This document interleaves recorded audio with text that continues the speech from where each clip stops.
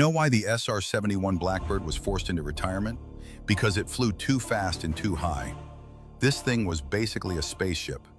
At 85,000 feet and over Mach 3, the cockpit became a pressure chamber.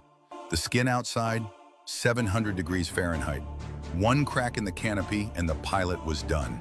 That's why Blackbird pilots wore full-on spacesuits, pressurized, fire-resistant, built for extreme heat.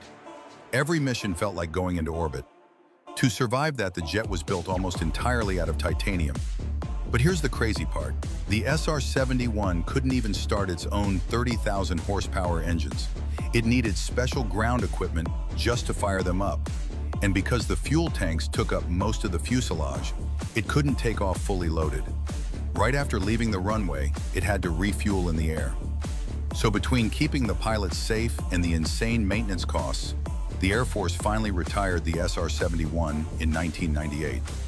But the legend of the Blackbird still lives on. So what do you think? Should it have stayed in the skies?